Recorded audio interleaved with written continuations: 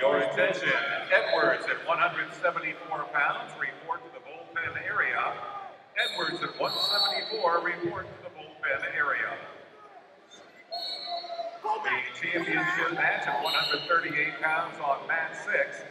Nevan Snodgrass of the Capitalist Wrestling Club has been champion at the 5-0 tournament, the Super 32 tournament, the Nationals tournament, and the Triple Crown Nationals returning junior high state champion with a 7th, 6th grade and 7th grade champion. Ethan Pappas in green wrestles for the Gladiators. He's 27 and 1,